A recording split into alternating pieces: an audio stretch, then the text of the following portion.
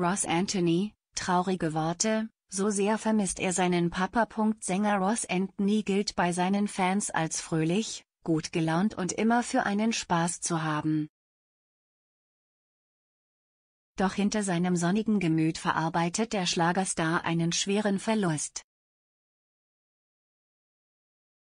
Ross Anthony ist ein Multitalent, er steht nicht nur als Schlagerstar regelmäßig auf der Bühne, sondern hat auch ein eigenes Backbuch veröffentlicht und vermietet seit neuestem Ferienloges in Cornwall. Das alles bündelt seine verschiedenen Leidenschaften, doch zu seinen Ferienhäusern in England hat der Schlagerstar einen ganz besonderen Bezug. Ross Anthony, ich vermisse meinen Papa sehr. Dort hat Ross Anthony jahrelang Zeit mit seinen Eltern verbracht. Und auch wenn Cornwall inzwischen auch der Lieblingsort von ihm und seinem Mann Paul Reeves ist, verbindet er einen Menschen ganz besonders mit diesem magischen Ort, seinen Papa.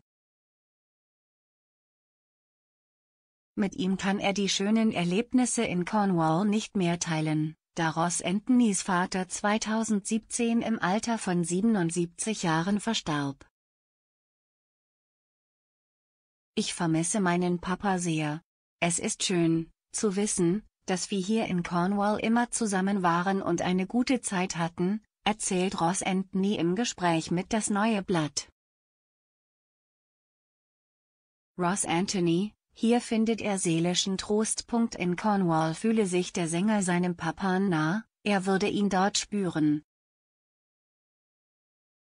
Es wäre schön, wenn er alles noch erleben könnte.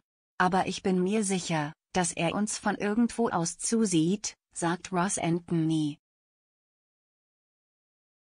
Wie schön, dass er zumindest in seinem geliebten Cornwall Trost findet.